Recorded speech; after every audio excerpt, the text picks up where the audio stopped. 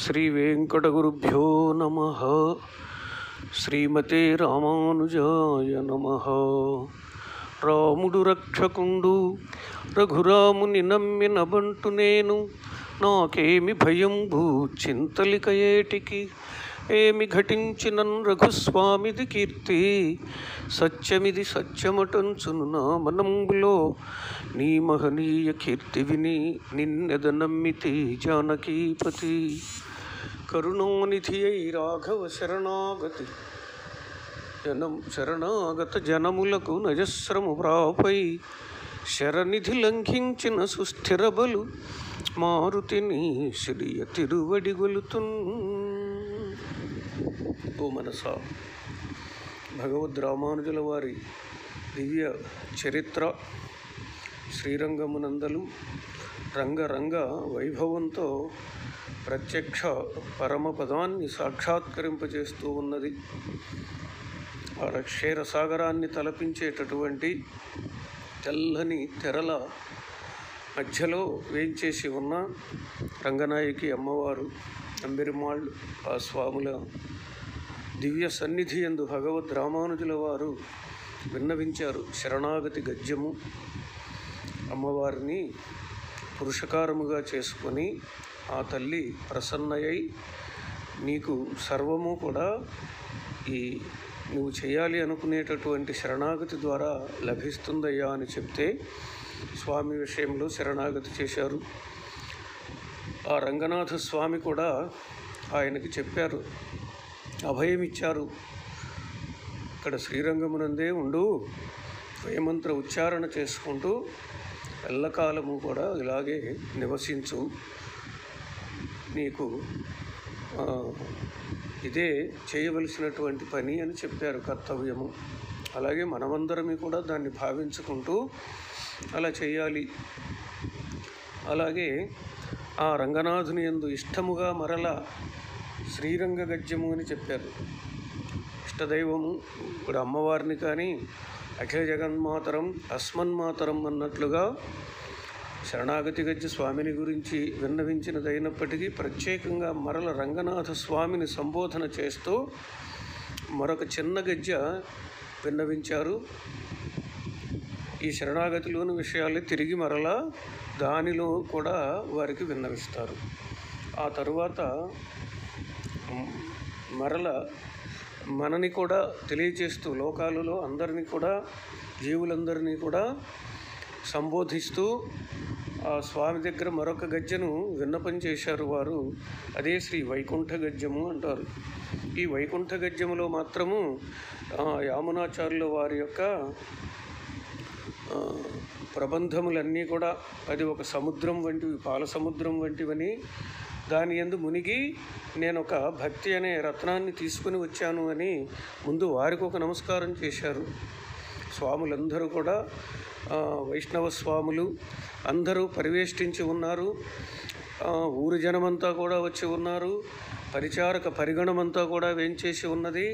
అది ఒక నంబెరమాళ్ళు ఆ రంగనాయకి అమ్మవారితో కూడి వేంచేసి ఉన్నటువంటి ఒక దివ్య సభ. ఆ సభా మండపమునందు ఇలా విన్నవిస్తూ ఉన్నారు స్వామి. యామునార్య సుధాంబోధిం అవగాహ్య యథామతి ఆదాయ భక్తియోగాఖ్యం రత్నం సందర్శయామ్యహం. రామనాచారులనే ఆ పాల సముద్రము అమృత సముద్రమది అంటే వారి ప్రబంధములు అనే అమృత సముద్రము దాని ఎందు నేను మునిగి నా యొక్క శక్తి కొలది కూడా వెదకితే నాకు ఒక రత్నం దొరికింది అన్నారు ఆయన. ఏంటంటే భక్తి అనే రత్నం. అది నేను దర్శించాను అది మీకు కూడా చూపిస్తాను అంటూ చెబుతూ ఉన్నారు ఆయన. స్వాధీన త్రివిధ చేతనా చేతన స్వరూప స్థితి ప్రవృత్తి భేదం క్లేశకర్మాద్యశేష దోష సంస్పృష్టం స్వాభావికానవధికాతిశయ జ్ఞాన బలైశ్వర్య వీర్య శక్తి తేజ ప్రభృత్య సంఖ్యేయ కళ్యాణ గుణగణౌఘ మహార్ణవం పరమపురుషం భగవంతం నారాయణం స్వామిత్వేన సుహృత్వేన గురుత్వేన చ పరిగృహ్య ఐకాంతిక ఆత్యంతిక తత్పాదాంబుజద్వయ పరిచర్యైక మనోరథ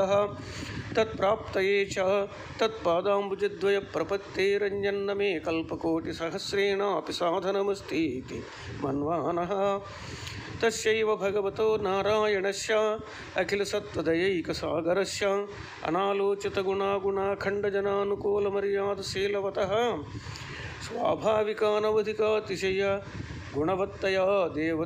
కల్పకోటి సహస్రేణాపి సాధనమస్తి ఇతి మన్వానః తస్యైవ భగవతో నారాయణస్య అఖిలసత్వదయైకసాగరస్య అనాలోచితగుణాగుణాఖండజనానుకూలమర్యాదశీలవతः స్వాభావికానవధికాతిశయ గుణవత్తయా దేవతిర్యంగ్ మనుష్యాద్యఖిల అనన్య ఆత్మసంజీవనేన తద్గత సర్వభావేన శరణమనువ్రజేతు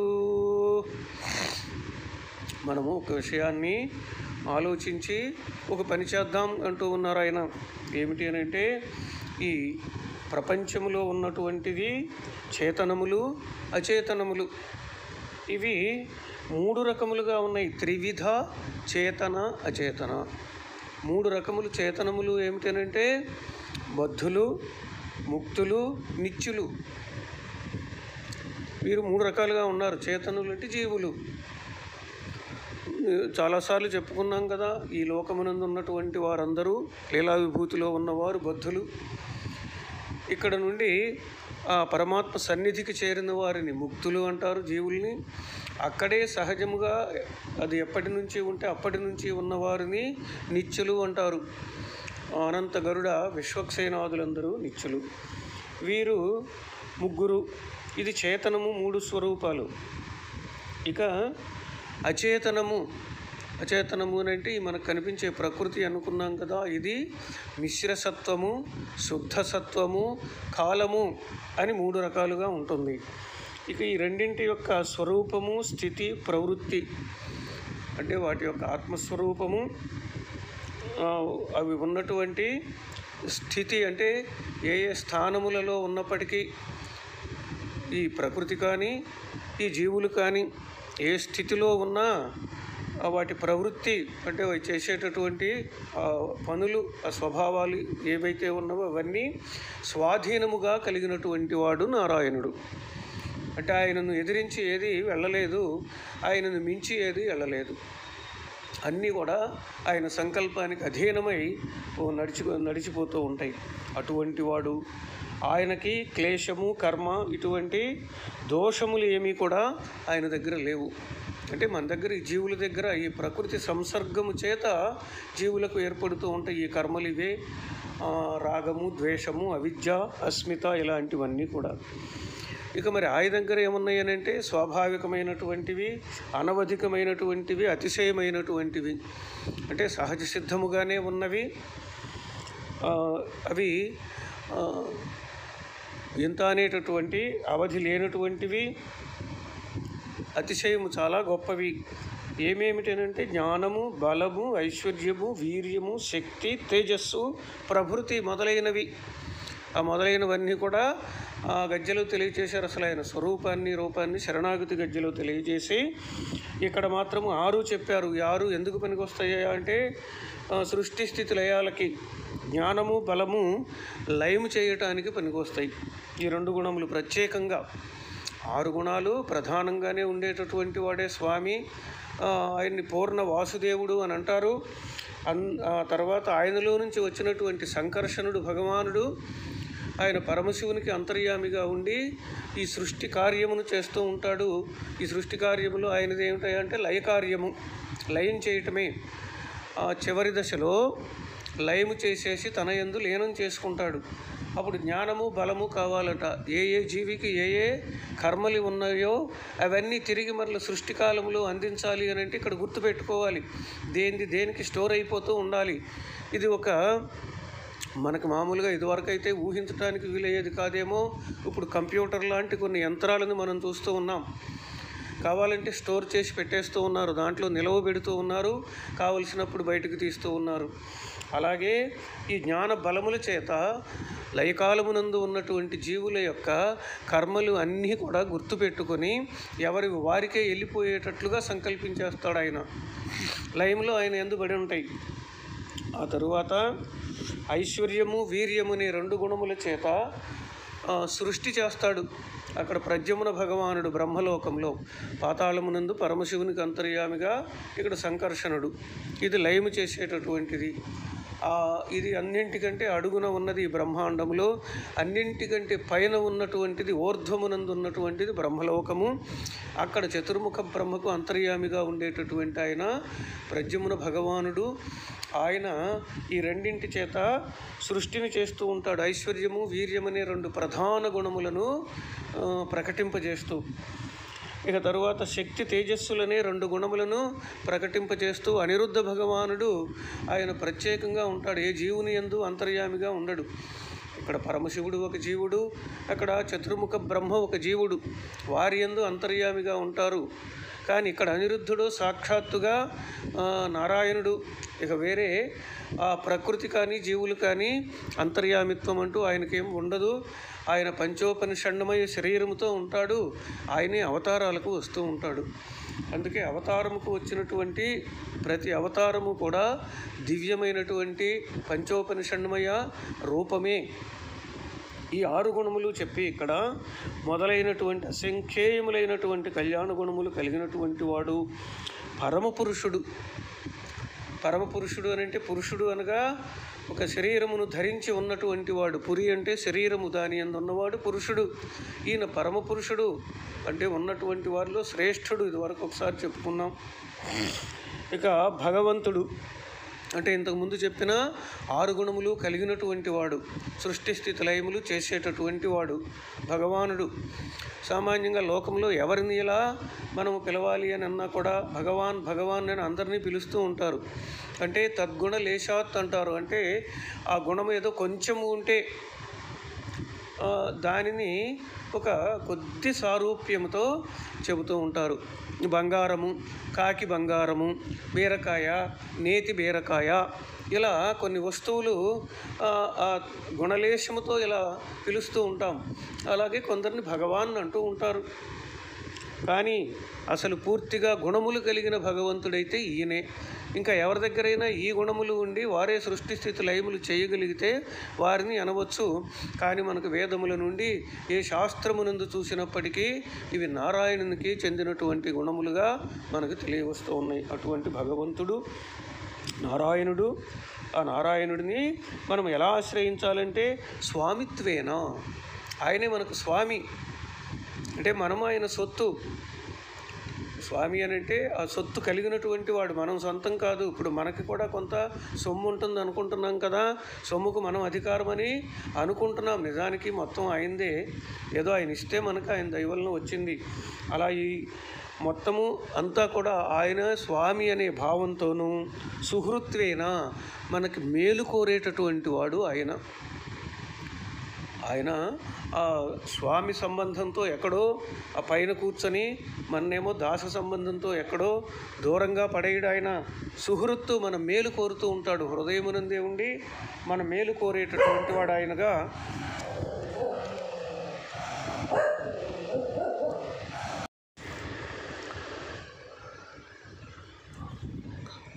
ఆయనని మన హృదయమునందు ఉండి మేలు కోరుతూ ఉండేటటువంటి వాడు ఆయన అని మనం భావించాలి. సర్వము కూడా ఆయనకు విన్నవిస్తూ ఆయన సూచనల ద్వారా మనము నడక సాగిస్తూ ఉండాలి. గురుత్వేన చ గురువు కూడా ఆయనే. ఆయనే మనకి గురువు అని కూడా భావించి పరిగృహ్య అంటే సర్వ విధములా స్వీకరించి ఆయన్నే ఏ కొంచెము అంటూ కాదు అన్ని విధాల కూడా స్వామి ఆయనే సుహృత్తు ఆయన గురువు ఆయన అని మనము స్వీకరించి ఐకాంతిక ఆత్యంతిక తత్పాదాంబుజద్వయ పరిచర్య ఏకమనోరథ. అది ఒక్కటే ఆయన పాదముల సేవ చేయటము మన కోరికగా మిగిలిపోయి ఉండాలి. ఇతరమైనటువంటివి అవి నడిచిపోతూ ఉంటాయి. మన మనస్సుకి మాత్రము ఆయన పాదద్వయము మాత్రమే లయించి ఉండాలి మన మనసు. అది అలా భావించి తత్ప్రాప్తయేచ. మరి ఆయన్ని చేరాలంటే ఏం చేయాలి అని అంటే తత్పాదాంబుజయ పాదాంబుజద్వయ ప్రపత్తేరణ్యం నమే కల్పకోటి సహస్రేణాపి సాధనమస్తీతి మన్వాన. ఆయన చేరటానికి ఆయన పాదాంబుజద్వయమునందలి ప్రపత్తి తప్ప మరొకటి సాధనము ఉన్నది అని నేను అనుకోవటం లేదు అన్నాడు. మన కూడా అనుకోమంటూ ఉన్నాడు. అలా తలంచండి. కల్పకోటి సహస్రములు చేసినప్పటికీ మరొక విషయము చేత ఒక పాద పాదముల ఎందలి శరణాగతి తప్ప వేరొక సాధనము కల్పకోటి సహస్రములు చేసినా కూడా అంటే మరి ఎన్ని కోట్ల సంవత్సరాలు పరిమితి లేదు. ఇక మరొక సాధనము లేదని తలంచండి. అలా తలంచి ఎందుకు చెప్తున్నాను ఇది ఎన్నిసార్లు అని అంటే ఇది గుర్తు పెట్టుకోండి ఇప్పటికి ఎందరికో సందేహాలు మరలా ఏం చేయాలి ఏం చేస్తే మోక్షము శరణాగతి అంటే ఏమిటి ఇంకా చాలా ఉపాయాలు ఉన్నాయి. ఎందరో చెబుతూ ఉంటారు చెప్పుకొని ఎవరిష్టం వారిది ఎవరిని ఎవరూ కాదనలసిన పని లేదు. ఆ తర్వాత అనేక రకాలైన ఈ భగవద్ రామానుజులు వారి తర్వాత ఇట్లాగే కల్పకోటి సహస్రాలు వచ్చిపడిన తర్వాత అన్నీ వైష్ణవంలోనే ఉంటాయి. ఇంకా ఇతరత్రా కూడా ఎన్ని పెరిగిపోయినాయో అసలు చెప్పలేము. రామానుజుల వారు చెప్పినటువంటి మాటల మీద విశ్వాసము ఉన్నవారైతే వీటిని విని వీటిని ఆచరించండి. ఇంకా ఏయో ఉన్నవి అని అనుకుంటే వారి మాటల మీద విశ్వాసము లేనట్టే. కాదని ఎవరు ఏమీ అంటలేదు. ఎందుకంటే తర్వాత గచ్చపొదల్లాగా పెరిగిపోయినాయి ఇవన్నీని. ఈనాడు ఏ ఒక్కరు కూడా వారి మాటలను అసలు చదివేవారు కానీ వినేవారు కానీ పాటించేవారు కానీ కనపడతల్లా. వారి వారి ఇష్టానుసారంగా వారి వారి ఆశ్రయించినటువంటి వారు చెప్పటం కానీ వీరు చేయటం కానీ భక్తులమనేవారు శరణాగతులమనేవారు వైష్ణవులమనేవారు అందరిలోనూ కూడా ఈ మార్పులు కనపడుతూ ఉన్నాయి. అందుకే నేను ఎన్ని విధాలుగా ఇక్కడ విన్నవిస్తూ ఉన్నాను. ఆ రామానుజుల వారి మీద విశ్వాసం ఉన్నవారు తప్పకుండా దీన్ని గుర్తుపెట్టుకోండి. రామానుజుల వారు చెప్పినట్లుగా పరమాత్మే అన్నీ కూడా అతి తేలిక మాటల్లో కూడా చెప్పుకున్నాం. నీవే తల్లివి తండ్రివి. నీవే నా తోడు నీడ. నీవే సకుడవు నీవే గురుడవు దైవము. నీవే నా పతియు గతియు నిజముగ కృష్ణ. ఒక్కసారి అనుకోలేమా ఈ పద్యాన్ని పని? ఈ పద్యాన్ని ఆ భావనను చేసుకోండి. తెలుగు పద్యము చాలా తేలికగా కృష్ణ శతకంలో ఉన్నది.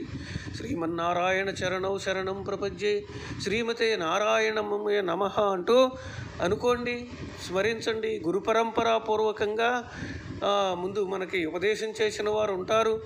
ఎవరైతే వారు ఒకవేళ వారు మనకు తెలియలేదు అనుకోండి ఇలా విన్నా కూడా ఒక గురువు గారి ద్వారా విన్నట్టే అందుకే అస్మద్గురుభ్యో నమ అనుకోమంటారు. అంటే ఎవరైతే తమకి చెప్పారో వారే అక్కడ పేరుతో పని లేదు. అస్మద్ గురుభ్యో నమ అని ఒకసారి అనుకొని ఈ మంత్రాన్ని ఎన్నిసార్లు అయినా సరే చేసుకోవచ్చు. ఇలా చేయటమే శరణాగతి అని అంటే ఇలా చేయండి. ఇదే మోక్షం ఇస్తుంది ఆ భగవానుడే స్వామి ఆయనే మనకు ఆయనే స్నేహితుడు ఆయనే గురువు అని భావించండి అని చెప్పారు ఆయన. అందుకోసము నా తపన నా తాపత్రయము నా బాధ నా యొక్క తహతహ నా ఆసక్తి నా కోరిక నా మనోరథము. ఇది మన్నించండి. అందరూ కూడా తెలుసుకోండి దీనిని అని చెప్తూ ఉన్నా. మరొకటి లేదు ఇక ఆయన అఖిల సత్త దయైక సాగరుడు. అందరి ఎందు కూడా దయను చూపించేవాడు. అన్ని జీవుల ఎందు కూడా దయ చూపిస్తాడు. అనాలోచిత గుణాగుణ అఖండ జన అనుకూల మర్యాదశీలవతుడు ఎవరైనా సరే గుణములు కలవారా గుణములు లేరువారా అని చూడడాయన మంచివారా చెడ్డవారా అనేది లేనే లేదు.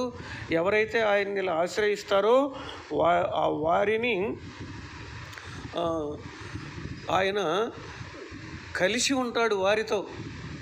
హద్దు లేనటువంటి యొక్క శీలము ఆయనది. అలా కలిసి ఉంటాడు ఆయన. నిరంతరము కూడా మనకి మనస్సులో ఉండి ప్రచోదము చేస్తూ ఉంటాడు. మన ఎప్పుడు కూడా ఇదిగో ఈ చెయ్యండి ఈ పని చెయ్యండి ఈ పని చెయ్యకండి అని లోపల ఉండి ఆయనే చెబుతూ ఉంటాడు. ఆయన్ని నమ్మినట్లయితే ఆయనే మనకి ఇలా దారి చూపిస్తూ ఉంటాడు. ఇది నమ్మండి. స్వాభావిక అనవధిక అతిశయ గుణవత్తయ అతిశయము అన్ని గుణములు ఆయనవి. ఆయన దేవ తిరియంగ్ మనుష్యాది అఖిల జన హృదయానందనుడు ఆయనే. దేవతలు తిరియక్కులు మనుష్యులు స్థావరములు ఇవే. వర్ణములంటూ వేరే లేవు. ఆ వేరే వర్ణాలు ఉంటే అవి వాటిల్లో ఉండవచ్చు అది వేరు. కానీ ఈ చాతుర్వర్ణ్యమన్నా నాలుగు వర్ణాలు అన్నా ఈ ప్రతి భూమండలమునందు ప్రతి బ్రహ్మాండమునందు నాలుగు విధాలుగానే ఉంటాయి ఈ శరీరములు. వీళ్ళందరికీ కూడా ఆయనే ఆనందాన్ని కల్పించేటటువంటి వాడు. ఆశ్రిత వాత్సల్య ఏక జలధి ఆశ్రయించిన వారి యొక్క దోషములను అన్నింటినీ కూడా భోగ్యముగా స్వీకరించేటటువంటి వాడాయన సముద్రము వంటి వాడు ఆ గుణమునకు భక్తజన సంశ్లేక ఏకభోగుడట ఆయన భక్తజనులతో కలిసి ఉంటే ఆయనకు పరమానందం. నిజానికి ఆయనకి ఇతరమైనది ఏది అంత ఆనందంగా ఉండదు. భక్తులతో కలిసి ఉంటే ఆనందమట. అందుకే అవతారాలు కూడా ఆయన వచ్చేది. అవతారాలు ఎందుకు వస్తాయంటే భక్తులతో కలిసిమెలిసి తిరగటానికే దుష్టుల్ని సంహరించడానికి ఆయన రానవసరంలా. అటువంటి వాడు నిత్య జ్ఞాన క్రియ ఐశ్వర్య భోగ సామగ్రి సమృద్ధుడు. మహావిభూతి కలిగినటువంటి వాడు. ఆయన యొక్క శ్రీమతశ్చరణారవిందయుగళం శ్రీమంతమైనటువంటి ఆ లక్ష్మీయుక్తమైనటువంటి వాడు ఆయన పాదార విందములను అనన్య ఆత్మ సంజీవనేన తద్గత సర్వభావేన శరణమనురజేత్ ఇక అది తప్ప మనని ఉద్ధరించేది మరొకటి లేదు అని సంజీవనమది. అంటే మనని బ్రతికించేటటువంటిది సుమా. కనుక తద్గత సర్వభావేన భావములు మనం అన్నీ కూడా ఆయన్ని ఆశ్రయించేసేయాలి. ఆ పాదార విందములు ఎందు ఉంచేసేసి మనము శరణు చెందవలెను. అది తప్ప మరొకటి లేదు మనకి. రక్షణ అనే భావము చేత అక్కడికి చేరిపోవాలి రక్షణ అదే. భోగ్యము కూడా అదే సుమా మనకు. ఆత్మ సంజీవనము ఇది అని అంటే ఆ- ఆ భగవద్ అవతారములలో రామావతారము చాలా గొప్పదిగా చెప్పారు. అవతారములలో కూడా ఆ విష్ణు సహస్ర నామములలో వెయ్యి నామాలలో ఆ రామచంద్ర స్వామిని గూర్చి వచ్చినటువంటి నామములు వచ్చినప్పుడు వ్యాఖ్యానం చేస్తూ పరాశర భట్టర్ వారు అనుగ్రహిస్తారు ఒక మాట. మృ మృత సంజీవనం రామవృత్తాంతం అంటాడు ఆయన. ఇక వస్తూ ఉన్నది ఇక ఇదిగో మృత సంజీవనమైనటువంటిది. అంటే చనిపోవాలి అనుకునే వారిని కూడా బ్రతికించేదది. చనిపోయిన వారిని కూడా బ్రతికించేది. అటువంటిది సుమా రామవృత్తాంతము అంటాడు ఆయన. ఇక్కడ ఆత్మ సంజీవనము అన్న దానికి చెప్తూ ఉన్న మనకి అదే మనము బ్రతకటానికి అదే జీవించటానికి మనం జీవింపచేసేది భగవంతుని పాదములే. ఇక్కడ ఒక దివ్య కథని కూడా స్మరించుకుందాం. ఇక రామ సంజీవన వృత్తాంతం వస్తూ ఉందని అన్నాడు ఆయన. ఒకప్పుడు విజయనగర సమీపంలో ఒక ఒక ఆయన నిరంతరము కూడా రామాయణము పారాయణ చేసుకుంటూ ఉండేవాడట. వాల్మీకి రామాయణం పారాయణ చేసుకుంటూ ఉండేవాడు. ఏదో ఒక రూపంలో వచ్చి అతనికి సంసారం గడిచిపోతూ ఉండేది. లభిస్తూ ఉండేది కావలసినటువంటి ద్రవ్యము. అలా వెళ్ళిపోతూ ఉంటే అక్కడ కరువు వచ్చింది పాపం. జనమైతే ఇయటానికి సిద్ధమే కాని పాపం. వారికే లేక ఎవరికి వారు సంపాదించుకోవటమే అసాధ్యమైపోయింది వారి కడుపు నిండటానికి. కానీ ఇచ్చే దాతలు కూడా మృగ్యమైపోయారు. ఏం చేయాలి? భార్య బిడ్డలు. ఏమీ చేయలేక సరే ఏం చేస్తాం? అందరమే కలిసి పోదాం పదండి అని చెప్పి వారు కూడా ఆ శ్రీమద్ రామాయణ గ్రంథమును మాత్రం ఆ కోశమును అంగవస్త్రంలో చుట్టుకున్నారు. భార్య పిల్లలు కలిసి అలా బయలుదేరి వస్తూ ఉంటే హంపి పాడుపడిపోయి ఉంది విజయనగరం. రాజులందరూ గతించిపోయారు. తురుష్కులంతా దాన్ని పడగొట్టేశారు. ఎంత అద్భుతమైనటువంటి ఆలయాలను భారతదేశంలో ఎన్ని నాశనం చేశారో మరి. మరి అదేమిటో దైవ సంకల్పం తెలియదు. అలా ఆ వి హంపి లోపలకు కోట లోపలకు వచ్చి అక్కడ ఒక కోనేరు ఉంటే చక్కగా స్నానం చేసి నీళ్ళు తాగి అందరం చనిపోదాము అనుకున్నారు. ఇక్కడే ఉండి ప్రాయోపవేశం చేసి ప్రాణాలు విడిచిపెట్టాలి. సరే అలా చేసే ముందు ఒక్కసారి రామాయణం పారాయణ చేస్తాను అని చెప్పి ఆయన వారిని కూర్చోబెట్టుకొని ఆ పారాయణ ఆరంభించాడు. వాల్మీకి రామాయణం పారాయణ ఆరంభించాడు ఆయన ఆరంభించగానే ఒక పెద్ద కోతి వచ్చిందట. అక్కడ వానరాలు కూడా ఎక్కువే హంపీలో. ఒక కోతి వచ్చి చక్కగా కూర్చుంది. ఈయన చెబుతూ ఉంటే విన్నది. ఆ తర్వాత ఎక్కడికో పోయి ఓ పెద్ద అరటికెలు తెచ్చింది. ఎక్కడి నుంచి తెచ్చిందో తెచ్చి అక్కడ పెట్టింది. ఆ రా ఆ రామునికి నివేదన చేయమని చెబుతుంది. ఆ రామాయణ గ్రంథానికి నివేదన చేసి చక్కగా ఆ రోజుకి అరటిపళ్ళు తిన్నారు. తర్వాత రెండవ రోజు వానరములు చాలా వానరాలు వచ్చేసినాయి. ఇక రామాయణం చెప్పమంటూ ఉన్నాయి వింటాము అని. ఆ పారాయణే కాదు ప్రవచనంగా కూడా చెబుతూ ఉన్నాడు ఆయన హాయిగా వింటూ ఉన్నాయి. ఈ మధ్యనే ఎక్కడో బెంగళూరు దగ్గర ఒక వానరము రామ భజనను వింటూ ఆనందంతో తన్మయం చెందిపోయింది. అది వీటిలో పెట్టారు వాట్సాపుల్లో చూశాను. అలాగే మరొక వానరం వచ్చి వారు పూజ చేస్తూ ఉంటే అక్కడికి వచ్చి అక్కడ కూడా ఏయో కొన్ని ప్రసాదాలు తీసుకుని వెళ్ళిపోయింది. మనతో సమానంగా కలిసిమెలిసి బ్రతికేటటువంటివి నరులతో కలిసి బ్రతికే సుమా వానరములు కూడా? వాటికి తెలుసు. చాలా జ్ఞానం ఉన్నది. అలా వింటూ ఉన్నాయి. రోజు పదార్థాలు పళ్ళు తెచ్చిపెడుతూ ఉన్నాయి. ఫలాలు హాయిగా ఆరగిస్తూ ఉన్నారు. ఆ తరువాత ఆ కథ వింటూ ఉంటే అంతా కూడా దాదాపు చాలా భాగమంతా వానరుల కథ. ఆ తర్వాత వానరులు కథలు వచ్చేటప్పటికి చెలరేగిపోయి చిందులేసి గంతులేసి కిచకిచలాడి ఒకదాన్ని ఒకటి కౌగులించుకుని ఒకదాన్ని ఒకటి ముద్దు పెట్టుకుని ఆనందం పొందుతూ వింటూ ఉన్నాయట. ఎక్కడైనా ఆ రాక్షసులు చెలరేగి వీరిని కొడుతూ ఉన్నారు అని అంటే దుఃఖిస్తూ ఉండేవి. చిట్ట చివరికి అంతా రావణ సంహారం కూడా అయిపోయింది. విజయము రామచంద్రస్వామి పుష్పక విమానం మీద అయోధ్య నగరానికి వేంచేసి పట్టాభిషేకం చేసుకుంటారు రేపు అని చెప్పాడు ఆ పౌరా పౌరాణికుడు ఆయన. అలా చెబితే రెండవ రోజు అన్నీ కూడా తీసుకొచ్చేసినట మణులు మాణిక్యములు వజ్రములు వైడూర్యములు రత్నములు గోమేధికములు. అసలు పరిమితి లేదు గుట్టలు పోసినవి తీసుకొచ్చి అక్కడ. ఎక్కడి నుంచి తెచ్చినాయి అంటే ఎక్కడి నుంచి తెచ్చినాయి అని చెబుతాం మనకేమైనా తెలుసా ఏమి? మొత్తం అలా గుట్టలు పోసేస్తే చాలా ఆనందపడిపోయాడు ఆయన. మరి ఒక్కడు ఏమి చేయగలడు ఏమి తీసుకెళ్ళలేడు కదా. ఆ జనాన్ని కూడా పిలిచాడు. ఆ ఊరి జనం అంతకుముందు ఆదరించినటువంటి వారిని అందరినీ కూడా పిలిచి అందరూ కలిసి ఈ ద్రవ్యాన్ని ఎత్తుకొని ఎక్కడైతే కరువు లేదో అక్కడకు పోయి హాయిగా జన సమృద్ధమైన చోట ఆ వస్తు సంభారములన్నీ సేకరించుకున్నారు. ఊరు వచ్చారు. బతుకుతూ ఉన్నారు. అక్కడే వర్షాలు పడినాయి తర్వాత కరువు పోయింది. హాయిగా బ్రతికారట. ఇక ఇతశ్చ మృత సంజీవనం రామ వృత్తాంతం అంటారు ఆయన. ఆ రాముని వృత్తాంతము ఎక్కడైనా అక్కడ కూడా కదా.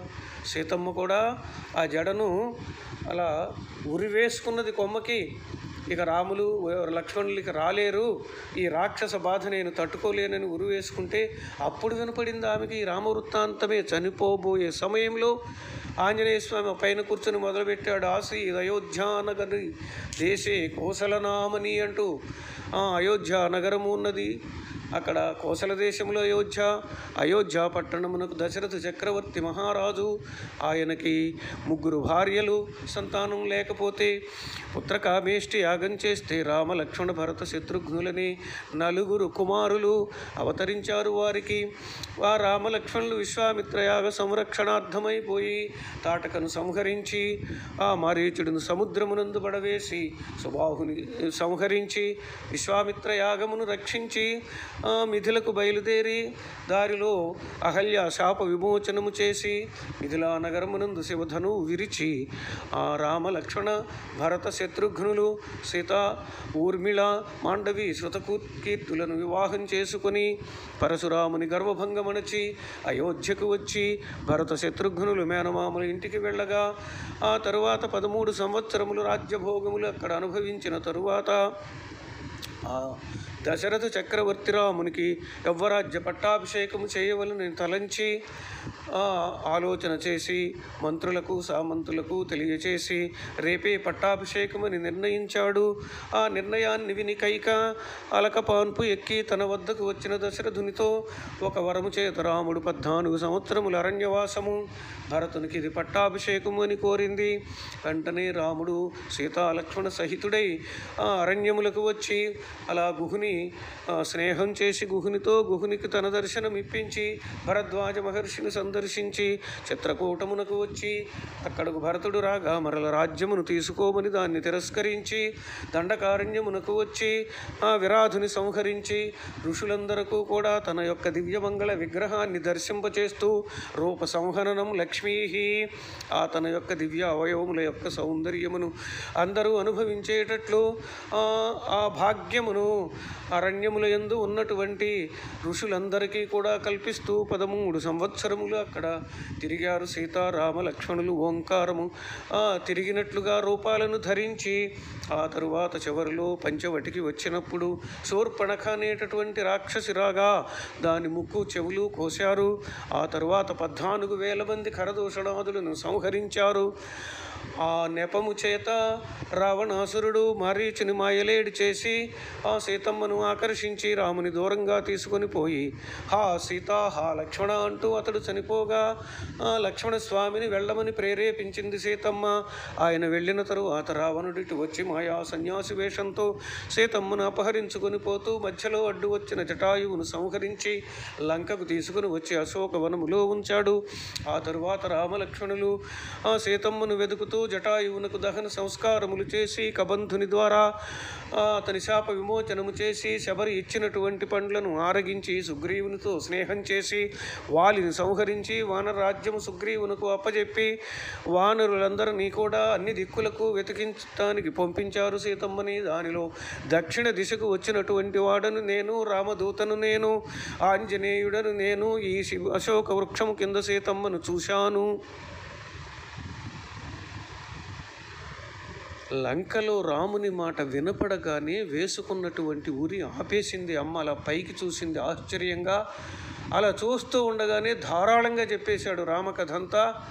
కిందకి దూకాడు అమ్మా అంటూ. ఇతోపి మృత సంజీవనం రామవృత్తాంతం ఏ ఒక్క అవతారమైనా ఏది ఇష్టమైతే దాని యందు మనస్సు లయించిపోవాలి. అలా అనన్య ఆత్మ సంజీవనేన తద్గత సర్వభావేన శరణమనురజేత్ మన యొక్క భావములన్నీ అటు రాముని వైపుకో ఆ భగవానుడు నారాయణుడి వైపుకో మీ ఇష్టము రంగనాథుని వైపుకో. పంపించేసేయండి ఆ పాదములే హృదయమునందు నిలపండి. ఆ ఆటికి స్థానము సుమా మన యొక్క హృదయం ఎటువంటిది అని అంటే పరమాత్మ ఆ లక్ష్మీయుక్తుడై నివసించే స్థానం మన హృదయం. దాని ఎందు నీచమైన భావములను నింపవచ్చా?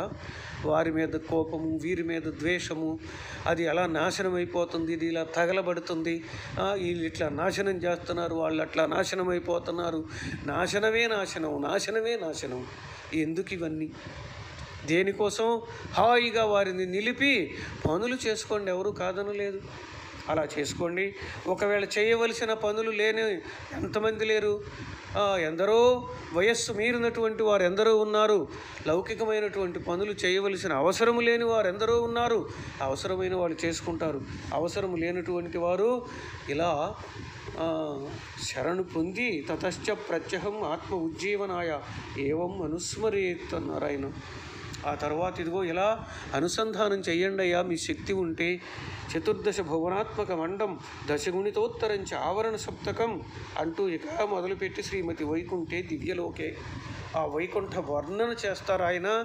ఆ దివ్యలోకము వైకుంఠ గద్యము అంటారు దీనిని ధ్యాన యోగేన దృష్ట్వా అన్నాడు ఆయన. ప్రతిరోజు కూడా ధ్యాన యోగంతో దర్శించండి అయ్యా. అర్చరాది మార్గమునందు వెళ్ళి ఆ శ్రీ వైకుంఠ లోకమునకు ప్రయాణం చేసి అక్కడ ఆ విషయములన్నీ కూడా ఈ గజ్జని చదువుకుంటూ ఉంటే మన మనస్సులో ప్రతిఫలించాలి అదంతా కూడా. అలా ధ్యానయోగం చేత చూసి ఎప్పుడు ఎప్పుడు చేరగలను అని అలా దర్శించడం మళ్ళీ రావడం హృదయంలో పడిపోతుంది. అలా దర్శించడం మళ్ళీ రావడం నేను చెబుతూనే ఉన్నా నేనేమి అసత్యము చెప్పటం లేదు గొప్ప కోసం చెప్పటం లేదు మీకోసమని కాదు.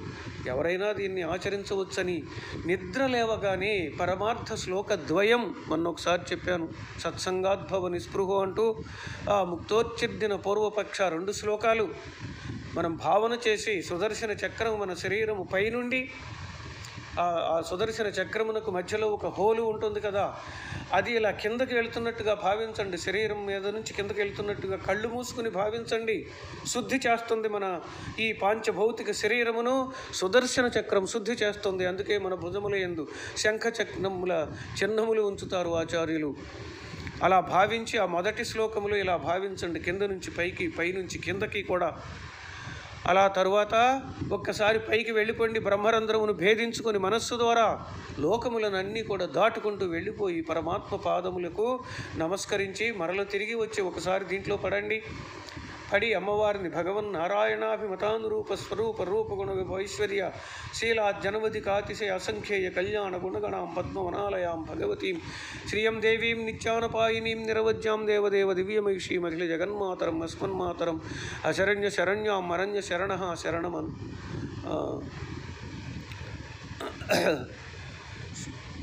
నేను శరణు పొందుతూ ఉన్నాను అని అమ్మకు చెప్పి అప్పుడు ఇక పనులు చేసుకోండి. అన్ని పనులలోనూ ప్రవర్తించండి. ఇది ఒక భావము. నిత్యము చేయవచ్చు. ఏం కొరత? దీనికి ఏమైనా ఖర్చు పెట్టాలా? భావము అనేది ఒక్కటి తెచ్చుకుంటే చాలు. ఆ దారిద్ర్యం లేకపోతే భావ దారిద్ర్యం లేకపోతే ఏ విధమైనటువంటిది మనకి ఖర్చుతో పని లేదు. వాటిని చక్కగా నేర్చుకుని వాటిని చేయగలిగిన వాళ్ళు చేసుకోండి. హాయిగా ప్రతిరోజు వెళ్ళిరండి. అదే భావనలో ఉంటే కదాహం కదాహం అంటూ ఎప్పుడు ఎప్పుడు ఎప్పుడు అనుకుంటూ ఉంటే చివరికి ఒకసారి అది రానే వస్తుంది. ఈ భావన అది నిజమవుతుంది. స్వామి అలా తీసుకుని వెళ్ళిపోతాడు అని చెప్పారు ఇది. ఎటువంటిది ఇంత గొప్పది అని అంటే ఈ మూడు గజ్జలు కూడా ఇలా చేసుకోండి. దీంట్లో వైకుంఠ గజ్జ దీని సారాన్ని చెప్తూ ఉన్నారు ఆయన? లక్ష్మీపతే యతిపతేశ్చ దయైక ధామ్నో యోసౌపురా సమజనిష్ట జగద్ధితార్థం ప్రాప్యం ప్రకాశయతు నాకు పరమం రహస్యం సంవాద ఏష శరణాగతి మంత్రసార. ఆ శరణాగతి అనేది ఉన్నదే ఆ లక్ష్మీపతి నారాయణునికి యతిపతి దయైకధామన అయిన దయా సముద్రుడట యతుపతి. దయా సముద్రుడు కనుకనే మన కోసం ఇలా అడుగుతూ ఉన్నాడు ఆయన. పరమానందంతో అడుగుతూ ఉన్నాడు. మన కోసం ఇలా సంవాదం జరిగింది అక్కడ వారికి. సంవాదము అంటూ ఉన్నారు వారు. మాట్లాడారు. నిస్సందేహంగా మనము నమ్మవచ్చు రామానుజులు వారు. చెప్పినటువంటిది ఇవి. కనుక దీనిని మనము స్మరించుకుంటే చాలు. ఆ మంత్రసారం ఇది దీన్ని ఇలా భావించండి. ఆ మోక్షము వైకుంఠమే మంత్రసారము. ఆ వైకుంఠమునికి ఇలా పోతాము అని చెప్పి భావించండి. అలా గజ్జత్రయోక్తుల కస్తూరి రంగ నిపాద పద్మముల ప్రపత్తి సలుపా. ఆ కస్తూరి రంగడు శ్రీరంగ రంగడు ఆ కావేటి రంగడు ఆయన యొక్క సన్నిధిలో అమ్మవారిని పురస్కారముగా తీసుకొని ఇలా గద్యత్రయములు వినిపించాడు. మూడు గద్యములు కూడా అతడు ప్రసన్నుడై ఆయన ప్రసన్నుడయ్యాడు చాలా సంతోషం మరి పొంగిపోయాడు. ఆయన కూడా భక్త సులభుడు కదా మరి భక్త వత్సలుడు. సర్వేశ్వరుడు నారాయణుడు వాసుదేవుడు. ఆ జగన్నివాసుడు ఆయనే జగత్కర్త జగద్భర్త జగత్ కుటుంబి ఆయనే.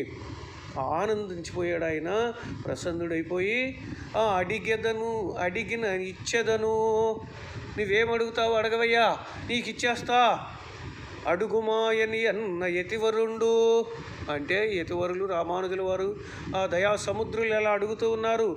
దయ నిమ్ము మోక్షము ధరగల్గు మా వారి వారి చెందిన వారి వారికెల్లనని వరమడిగినా. అయ్యా దయతో మోక్షమి చేసినా చేయకపోయినా వారికి బదులు నేను చేస్తూ ఉంటాను. ఎవరికంటే మా వారి వారి వారి వారి చేరిన వారికి నేను రామానుజులకు చెందిన వాడిని అనుకో చాలు.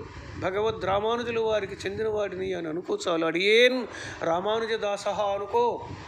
అనుకున్న వారికి అందరికీ కూడా మోక్షమేమని ఆ వరాన్ని తీసుకున్నాడు ఆయన. వారికి వారికి వారిని ఆశ్రయించిన వారికి అందరికీ కూడా మోక్షము ఇమ్మని అడిగాడు ఆయన. అడిగిన యతిపతికి ఆ శౌరి తిరముగా తన విభూతి ద్వయంబునొసగా అలాగే రామానుజ నీకు ఇదివరకు ఇచ్చా? మరల ఇస్తూ ఉన్నాను సుమా విభూతి ద్వయమునకు అధికారము నీకు. నీకే ఇస్తూ ఉన్నా ఇక్కడ నుంచి నువ్వు ఎవ్వరిని పంపించినా? ఆ లోకానికి చేర్చుకుంటాను అన్నారు ఆయన. అంటే అందుకే రామానుజ సంబంధం కావాలి ఈ మోక్షమునకు వెళ్ళటానికి అని అంటారు. చాలామంది అంటూ ఉంటారు. ఏమని అని అంటే ఏ రామానుజ సంబంధులకైనా? ఇక ఎవరికి ఉండదా అని. ప్రపంచంలో ఎన్నో లోకాలు ఉన్నాయి వైకుంఠ లోకాలు. ఈ లోకము మాత్రము ఆయన చెప్పినటువంటిది ఏదైతే ఉందో తద్భావభావన కలిగిన వారికే కదా వచ్చేది. ఊరికే ఎలా వస్తుందండి? ఇలా తీసి అలా ఇస్తారా? దేన్ని భావిస్తారో దాన్నే వస్తుంది. ఎవరు ఏది భావిస్తారో ఇది ఉన్నది అని భావించుకున్నటువంటి వారికి ఇలా మరి ఏదో ఒక ఈ గ్రంథాల్లోకి వస్తేనే తెలుస్తూ ఉంటుంది. లేకపోతే ఏ గ్రంథాలలోనూ ఇవి కనిపించవు. కనుక ఇలా వచ్చిన వారికి ఈ మోక్షం ఇది. లేకపోతే వేరే వారికి వేరే ఎన్నో లోకాలు ఉన్నాయి అవి ప్రసాదిస్తారు. అంతే తప్ప భగవానుడికి పక్షపాతం లేదు. ఇది ఒక్కటి గమనించండి. ఎందరో మనకి ఎదురవుతూ ఉంటారు. అందుకోసం నా బాధ.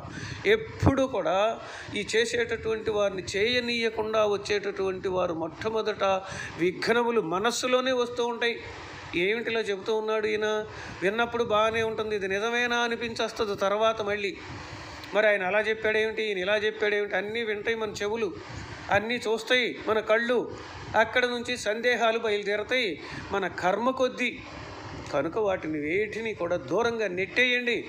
భగవద్ రామానుజుల వారికి ఆ కస్తూరి రంగడికి కూడా జరిగినటువంటి సంవాదం ఇది ఆ మంత్రసారం ఇది ఆ వైకుంఠ లోకము. ఇమ్మని అడిగాడు మోక్షము అందరికీ ఇస్తాను అన్నాడు ఆయన. అలా ఆ ఉత్సవం అలా చక్కగా సుసంపన్నమైంది. ఆనందాన్ని చెందారు అందరూ కూడా చాలా హాయిగా మనము కూడా అనుభవించాం. ఒక అద్భుతమైనటువంటి ప్రక్రియలో అనుభవించాం. ఇక తర్వాత అలా శ్రీరంగమునందు ఏం చేసి ఉన్నారు వారు? కాలం గడుస్తూ ఉండగా యతివరుడొక్కనాడు అరుణోదయపు వేళ కావేరియందవగాహమార్చి కాలకృత్యంబులగావించి కాలకృత్యంబుల గావించి వచ్చు త్రోవలోనొక వింత దోప చూచెను. ఆయన ఒకరోజు కావేరిలో స్నానం చేసి ఆ ఉషకాలంలో వస్తూ ఉన్నారు. ఆ రంగనాథ స్వామికి ఉత్సవాలు జరుగుతూ ఉన్నాయి. విపరీతంగా ఉన్నది జనమంతా అక్కడ శ్రీరంగంలో సప్త ప్రాకారములు నిండిపోయి ఉన్నారు అక్కడ. అలా వస్తూ ఉంటే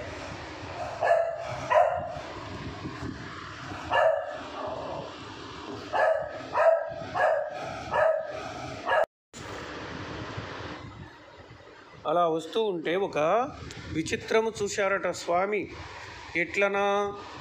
ప్రొద్దునకెదురే గునొక రామకభిముఖుడై వెనుకడుగులిడుచు బాలార్కునకు నొక్క చేలమడ్డము పట్టి చనునొక కాముక సార్వభౌము చూచి వీడతి రసికుడు సుఖ శరీరి హితము వీనికి దల్పమా కిచ్చబుట్టిననుచు లక్ష్మణముని దాయజనియే.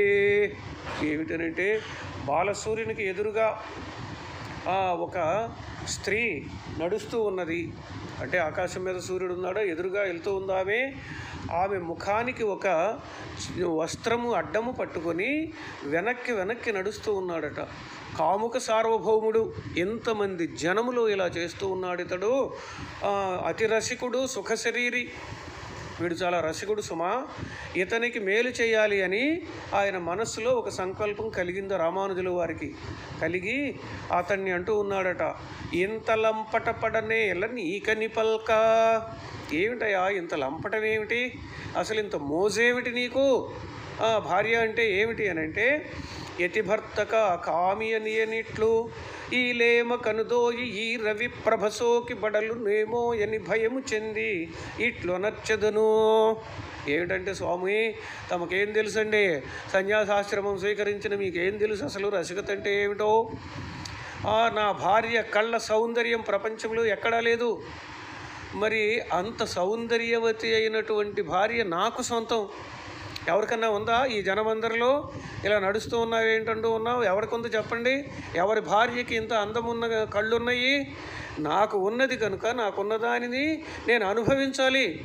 ఇది నాకు హక్కు. ఆ సూర్య కిరణములు పడితే కందిపోతాయి సుమా. నా భార్య నేత్రములు. అందుకోసం వెళ్తున్న స్వామి తమరికి ఏం తెలుసు? అన్నాడు. అయితే ఎచ్చట సరిలేని సొబగు కన్నులని చూపగలను మీ భార్యత కూడా కాదయ్యా ఎక్కడా కూడా ప్రపంచములో ఎవ్వరికీ లేనటువంటి నేత్ర సౌందర్యం ఒక చోట ఉన్నది. అది నేను నువ్వు చూపిస్తా అన్నాడు. అయ్యయ్యో ఏంటయ్యా దబ్బర్లాడతావు? ఎక్కడున్నది ప్రపంచంలో? అలాంటిది ఎక్కడా లేదు ఇంతవరకేని. నేను చూపిస్తారా? అయితే పద వస్తున్నా అన్నాడు. వడబడి రసికుడ గురునితో శ్రీరంగపతి చెంతజంది నిలువ. తెలిసి యతిపతి సన్నిధి తీర్థమెత్తి అతని కన్నుల తుడిచి ఈ అహిశయాను నక్ష యుగమిది కనుగొనుమనియే. తీసుకొచ్చి చూపించాడు. చూపిస్తే ఏం కనపడుతుంది స్వామి? ఏమున్నది అక్కడ అంటే ఆ తీర్థము తీసుకొని ఆ సన్నిధిలో స్వామి సన్నిధిలో పాత్రల్లో ఉన్నటువంటి నీళ్ళు తీసుకుని అతని కళ్ళొత్తి తుడిశాడు రామానుజుల వారే. అంటుకొని తుడిశాడు అంటకూడదనేది ఏమీ లేదు అక్కడ అంటుకొని తుడిశాడు. తుడిస్తే అప్పుడు కళ్ళు తెరిచి చూడు అన్నాడు చూశాడు. భూరి గంభీరాంభముల బొల్చి దృఢనాళమై బాల భాస్కరుణం సుతతుల పొరి వికసించిన పుండరీకము బోలు కస్తూరి రంగని కన్నుదోయి కమనీయ దివ్య మంగళ విగ్రహమును దేవీ భూషణ దేవీ విభూషణ దివ్య హేతుల యతీశానుగ్రహంబుచే కనుకొని అమ్మహాత్ముండతి హర్షముంది. చూశాడు చాలా సంతోషించాడు.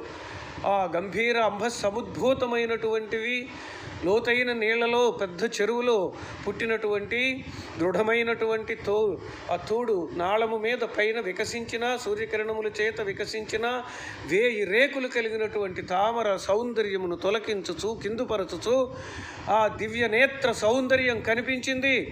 దివ్య పరివారంతో సహా దర్శనమిచ్చాడట. దేవీమారులు శ్రీదేవి భూదేవి నీళాదేవి నీలాదేవి గోదాదేవి అందరితో పరివేష్టించి ఉన్నాడు ఆయన అక్కడ. విశ్వక్సేనులు గరుడాళ్ళవారు ఆదిశేషులు మొత్తం అందరూ కూడా పరివారంతో సహా కనిపించేటప్పటికీ అతిహర్షమందే ఎంత సంతోషాన్ని పొందాడో యతీశ్వరుల యొక్క ఆ దివ్య దయచేత కదా నాకు ఇది లభ్యమైనది. ఎవని కృపచేత కంటినే నిట్టి సుఖము అతడి వీనికి సర్వస్వమని తలంచి ఆశ్రయించను యతిపతి అంఘ్రులనుచు.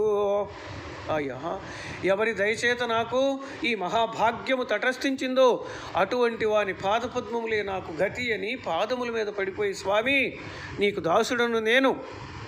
నీ వెంట ఉంటానిక నన్ను దాసునిగా స్వీకరించు అన్నారు ఆయన. అంటే లక్ష్మణార్జుండా విలక్షణాత్ముని విష్ణు లక్షణ లక్షితు లలినునర్ప. అతడు ధనుర్దాసుడని ప్రసిద్ధుండయ్యే ఆ అతనికి పంచ సంస్కారములు కూడా అనుగ్రహించాడు ఆయన అతనికి ధనుర్దాసుడు అని పేరు పెట్టారు. దాసనామం ఇచ్చారు అతనికి. అతని పత్ని యుతన్నే ఆశ్రయింప. ఆ సతీమణికి హేమాంబికయని పేరు. సకల హితోపదేశములు సల్ప. ఆమె కూడా ఆశ్రయించింది రామానుజుల వారినే. ఆమెకు హేమాంబిక అని పేరు పెట్టారు. సకల హితములు ఉపదేశం చేశారు. మంత్రమంత్రార్థములన్నీ కూడా. దారాధికము ధనుర్దాసుడు విడనాడి పద్మిని పాంచాల భావమెరిగి ఇది ఏ మా కార్య దక్షిణ ఇమ్మనడిగి మరలి ఆ దంపతుల గూర్చమాన్య తిలకుడు. ఆ, ఎప్పుడైతే జ్ఞానోదయం అయ్యిందో ఆ భార్యను కూడా విడిచిపెట్టేస్తున్నా నేను. ఎందుకనంటే ఇది పద్మిని పాంచాల భావము అంటూ ఉన్నాడు. పద్మినీ పాంచాల భావం ఏమిటనంటే బొమ్మ పొత్తికలు. బొమ్మలు ఉంటాయి కదా. ఇది స్త్రీ అనే బొమ్మ. ఇప్పుడు కూడా ఇదివరకు పూర్వకాలంలో అంటే బొమ్మ పొత్తికలు అనేవాళ్ళు ఇప్పుడు చక్కగా మనకి ఈ షాపింగ్ మాల్స్లో చీరలు కట్టి ఉంటాయి. చీరలు కట్టి స్త్రీలలాగానే నిలబడిపోయి అసలు స్త్రీ అన్నట్లుగానే ఉంటుంది. అదిగో అది ఎలాంటిదో ఇది కూడా అలాంటిదే సుమా. ఈ శరీరం ఇంతకు ముందు వరకు కూడా ఏదైతే ప్రేమించి మోహించి కామించి లోకాన్ని తిరస్కరించి సిగ్గు శరము విడిచి ఆ భార్యకి దాసుడైపోయాడో అటువంటి ఆ భార్య శరీరము ఇది ఒక బొమ్మ పొత్తిక వంటిది స్వామి. నాకెందుకు ఇది నాకు అవసరం లేదు. నేను విడిచిపెట్టేస్తున్నాను అన్నాడు. అలాగే విడిచిపెట్టాయి. మరి నాకు గురుదక్షిణ ఇయ్యవో అన్నారట రామానుజుల వారు. అయ్యయ్యో స్వామి అడగకుండానే ఇయ్యాలి అడిగితే ఇయ్యకపోవటమా అన్నాడు ఆయన. అయితే అదిగో ఆ దక్షిణ ఏమిటనంటే ఈవిడను స్వీకరించు భార్యగా. ఇప్పుడు మరల స్వీకరించవయ్యా ఈమె ఇప్పుడు భాగవతురాలు కేవలం భార్య మాత్రమే కాదు. మరొక విలక్షణత్వం ఉన్నది. ఇది తెలుసుకో అన్నాడు ఆయన. కేవలం భార్య అయితే ఆ లౌకికమైనటువంటి స్థితి అలా కాదు. నీకు పారమార్థికమునందు కూడా ఈమె భాగవతురాలు కనుక ఆమెను చాలా గౌరవించు అన్నాడు. ఇది తెలుసుకోవాలి మనమందరమీ కూడా. విడిచిపెట్టేయటం కాదు ఒకరికి ఒకరు అలా భాగవతులుగా భావించితే అది గొప్ప స్థితి అన్నమాట. దీనికంటే గొప్పది. అటువంటి స్థితి వారికి ఇచ్చారు. అతడు సర్వజ్ఞమౌళి దయాళువు. ఆ రామానుజుల వారు సర్వజ్ఞము శేఖరుడు ఆయన దయా సముద్రుడు కనుక ఆ దంపతుల ఎందు ఆయన దయ ఇలా ప్రసరించి కటాక్షించింది. వారు చాలా ఆనందపడిపోయి అక్కడే ఉండి ఆయన మల్ల యుద్ధం చేసేటటువంటి వాడట. అంటే రాజుల దగ్గర ఆ పట్లు పట్టి ఆ జట్టీలు అంటుంటారు వారు. ఆ ప్రదర్శనలు ఇచ్చి ధనాన్ని తెస్తూ ఉంటారు. ఇప్పటికే కూడా ప్రదర్శనలు పూర్వకాలం ఇచ్చేవారు. ఇప్పుడు కూడా చాలా తగ్గిపోయారు. సినిమాలు వచ్చిన తర్వాత తగ్గిపోయినాయి అనుకోండి ఆ కాలమునందు అలా ప్రదర్శనలతో ధనాన్ని తెచ్చి మఠానికి ఇస్తూ ఉండేవాడు. ఆ దాని యొక్క రక్షణ భారం ఆయనకి అప్పజెప్పారు రామానుజుల వారు. ఆ తరువాత త్రివీధి ఉత్సవములలో రంగనాథ స్వామి బయలుదేరి వస్తూ ఉంటే ఈయన ఎదురుగా వచ్చేవాడట ఒక కత్తి పట్టుకొని తిరువీధి విచ్చేయ దేవదేవుని విగ్రహం గదల్ప వాహకులనైన తన్నైన తెగటాత్పదలచెదనని ఒక్క వాడి కఠారము వరను నిద్ర చందనీయక పూని శ్రీరంగపతి ముఖమలర చూచుచు వెనుకడు గులిడుచు అరుగున పిచ్చ వయస్కు ధనుర్దాసు ఆ తిరువీధి ఉత్సవములలో ఏదైనా సరే ఆ విగ్రహానికి హాని కలిగినట్లయితే ఎవరు చేస్తారో వారినైనా చంపేస్తా లేదా నేనైనా చచ్చిపోతాను అని ఒక కత్తి వర నుంచి తీసి దానిని పట్టుకొని వెనకడుగులు వేస్తూ నడిచేవాడట. అంతటి ప్రత్యయము కలిగినటువంటి వాడు ప్రాణ త్యాగానికైనా సిద్ధమే. స్వామికి మాత్రం ఎటువంటి అవధ్యము జరగటానికి వీలు లేదు అని చెప్పి నడుస్తూ ఉన్నాడు. అపీచ వయస్కుడు ఆ బలం కలిగినటువంటి వాడు మంచి వయస్సులో ఉన్నటువంటి వాడు అటువంటి ఆయన్ని చూసి పెళ్ళై యురంగా అద వెళ్ళి దాసుడనిరి ద్రష్టలు. పెళ్ళై యురంగా వెళ్ళి దాసర్ అంటే నిద్ర లేనటువంటి వాడు. నిద్రని లేనటువంటి వాడు ఇతడు అని చెప్పి ఒక బిరుదనామం ఇచ్చి తమిళంలో అలా పిలుచుకుంటూ ఉన్నారట. ఈ ధనుర్దాసుని మల్ల విద్యాతిశయము ధారిణి సులకడచూపి ధనము తెచ్చి ఆర్య కైంకర్యమనరించునో అలా ఆ ధనాన్ని తీసుకుని వచ్చి ఆ మఠము యొక్క పోషణ చేస్తూ ఉన్నాడు. ఆనందంగా ఉన్నారు వారు అక్కడ ఆ అసమధికాభిజాత్యంబున వెట్కొను మొదలి అండానాది ముఖ్యులతని కైదండగై ముఖ్యుడు అతని కైదండగుని తిరుక్కావేరి తీర్థమాడను జని లక్ష్మణముని వరుండు ఆర్ద్ర వస్త్రావృతము ఆ దాశరథికేలు దండాని మరలి తా దారి నడుమ మల్ల రంగమున రంజిల్లు సాముల చెప్పి అలసి ధనుర్దాసుడరుగుదెంచి తన్ను గనుగొని వలగొని ధరణి జాగి మృక్కి లేచిన చూచి సమ్మోదమంది అతని కైదండగొని మఠమందిననుచూ ఆ అసమధిక అభిజాత్యం కలిగినటువంటి వాడట మొదలి అండాన్ మరి గొప్ప కులస్థుడు ఆయన తర్క పండితుడు ఆయనకి అన్నీ ఉన్నాయి. అది ధనము ఉన్నది విద్య ఉన్నది అలాగే కులము ఉన్నది. అటువంటి మహాపురుషుడు ఆయన దా మొదలి ఆండాను అంటే దాశరథి పెనల్లుడు ఆయన కైదండ తీసుకొని కావేరీ నదికి తీర్థం స్నానం చేయటానికి వెళ్తారట రామనాచార్యులు.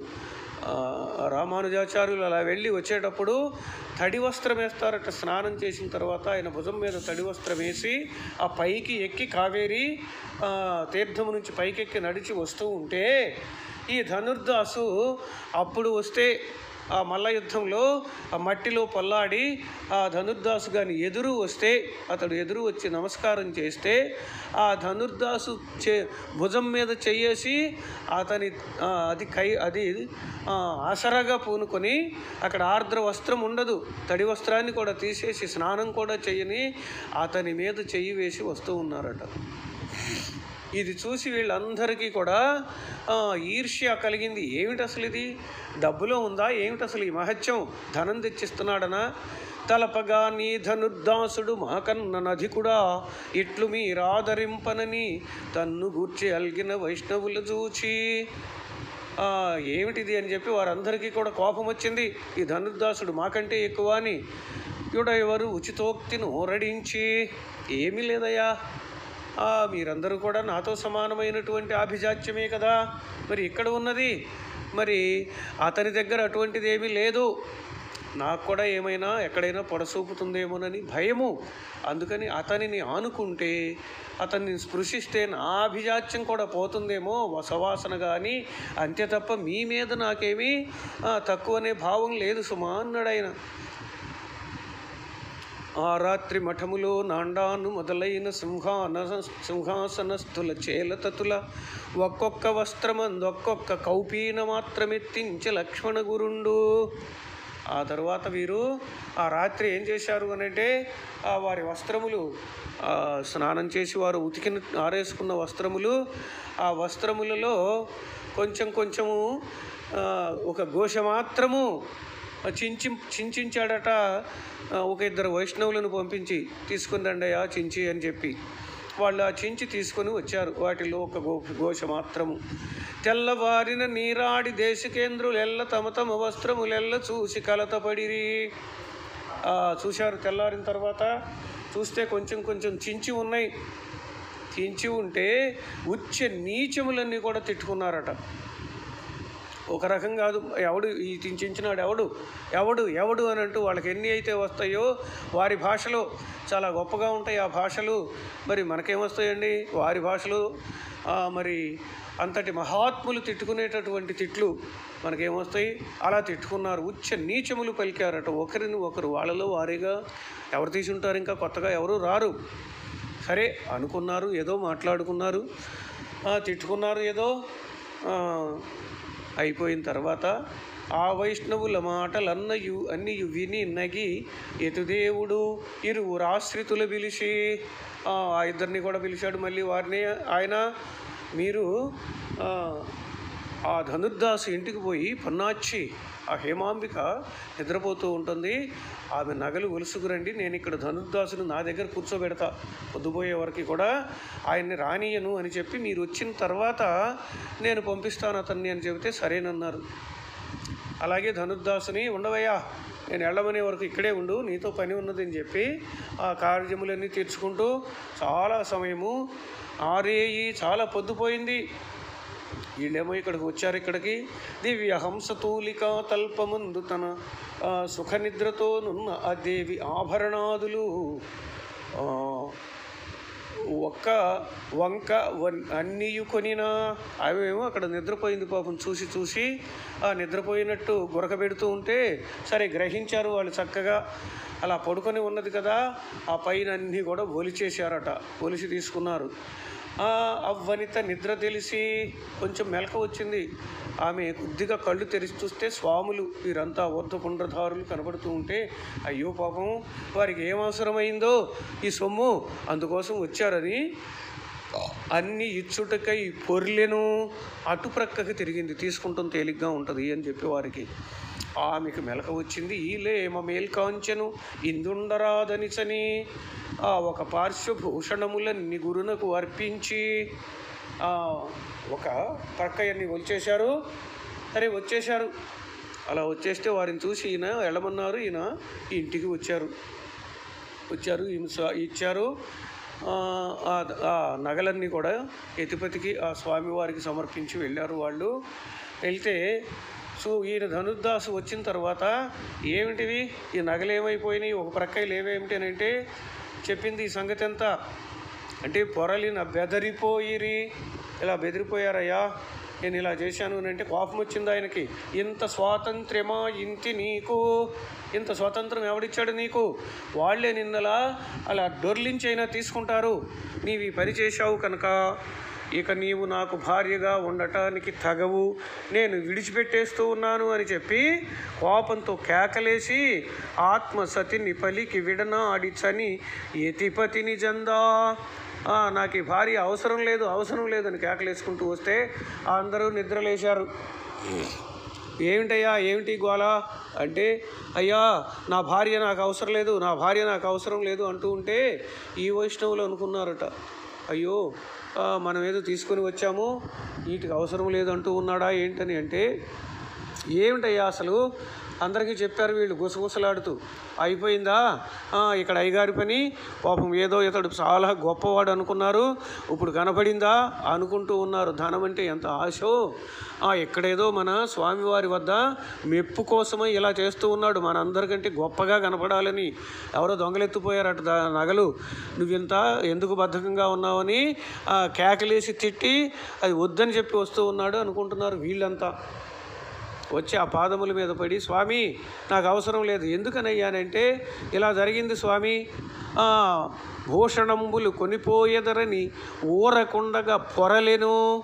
తాను ఉన్న సొమ్ములన్నీయు నిచ్చెదనని దుస్వతంత్రయై. ఆ దుస్వతంత్రము ఈ స్వాతంత్రం ఏమిటి అసలు ఎందుకు పొరలాలి? వాళ్ళే తీసుకుని వెళ్ళిపోతారు కదా. ఆ భాగవత కైంకర్యము దక్కనీయకుండా చేసింది స్వామి. కనుక ఇటువంటి భార్య నాకు అవసరం లేదు అన్నారట. అంటే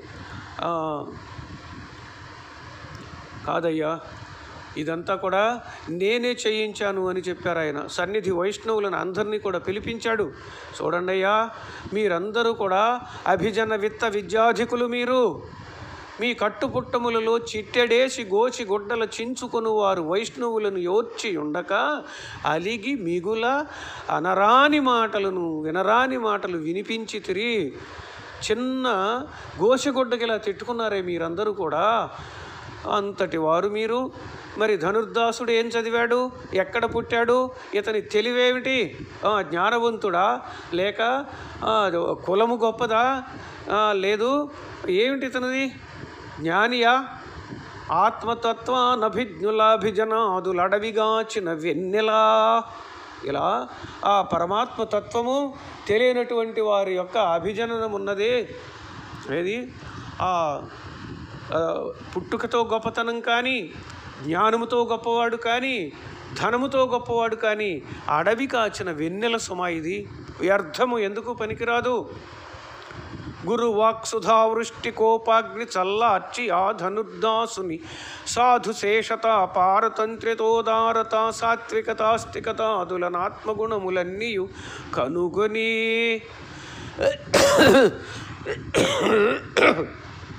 అలా ఆ రామానుజుల వారి యొక్క వాక్ సుధావృష్టి అమృత ధారలను వింటూ ఉన్నాడు ఆ ధనుర్దాసు. చాలా ఆనందపడిపోయాడు. ఆయన యొక్క ఆ సర్వ అవయవములు కూడా సంతోషంతో పొంగిపోయింది. ఎటువంటి వాడు సుమా ఈ ధనుర్దాసు సాధు శేషత్వం ఉన్నది. భాగవతులు అంటే శేషత్వాన్ని చూపించాడు. అంతేకాక పారతంత్ర్యాన్ని కూడా చూపించాడు ఆ ప్రదర్శించాడు. పరతంత్రత అంటే అచిత్తులాగా పడి ఉంటే ఆళ్ళే దొర్లి దొర్లింపించి తీసుకుపోతారంటూ ఉన్నాడే. ఇటువంటి ఉదారత కలిగినటువంటి వాడు సాత్వికత్వము కలిగినటువంటి వాడు ఆస్తికత్వము కలిగినటువంటి వాడు ఇటువంటి ఆత్మ గుణములు కలిగినటువంటి వాడు సుమా ఈ ధనుర్దాసు అతడికి ఉన్నది కనుకనే నేను ఇలా అతన్ని గౌరవిస్తూ ఉన్నాను అని చెప్పి అంటే లక్ష్మణముని కరుణ ఇతని ఎడల నెలకొని కావున ఇతడే మనకు పూజనీయుండు వైష్ణవ పుంగవుండు. ఆ గురువు గారిని ఇలా ఆశ్రయించి రామానుజుల వారి పాదములే సర్వస్వము అనుకున్నటువంటి ఈ ధనుర్దాసు అతడు మనకి పూజనీయుడు సుమా అని చెప్పి వారందరూ కూడా సంతోషించారు. చాలా ఆనందపడ్డారు. ధనుర్దాసుని కూడా వెళ్ళు కాపురం చేసుకో. హాయిగా పూర్వం మాదిరిగానే ఉండవయ్యా. ఇవిగో ఈ నగలు అని అంటే కాదు స్వామి ఆ నగలు కూడా మొత్తం అర్పించేస్తాం. ఈ లోపల ఆమె కూడా వచ్చేసింది. మొత్తం అన్ని ఒలిసి తీసుకొని వచ్చింది. స్వామి ఇక్కడే కైంకర్యానికి ఉపయోగించండి. స్వాములు యొక్క తదీ ఆరాధనకు ఉపయోగించండి. మరల సంపాదించుకుంటాం. మరల చేసుకుంటాం కావాలంటే అసలు ఎందుకు మాకు ఈ నగలు ఎందుకు స్వామి? దేనికి అసలు ఇవా మాకు భూషణములు? ఆ దేవర వారి దివ్య పాదార విందములే మాకు భూషణములు స్వామి. మాకు అవసరము లేదు. సర్వస్వము తమరే మాకు. సర్వస్వము అంటే అంత ధనము స్వ అంటే ధనము. ధనమంతా మీరే మాకు సర్వము మీరే అని చెప్పి మరలా అక్కడే ఇచ్చేశారు. ఆయన్నే ఖర్చు పెట్టమన్నారు ఆయన.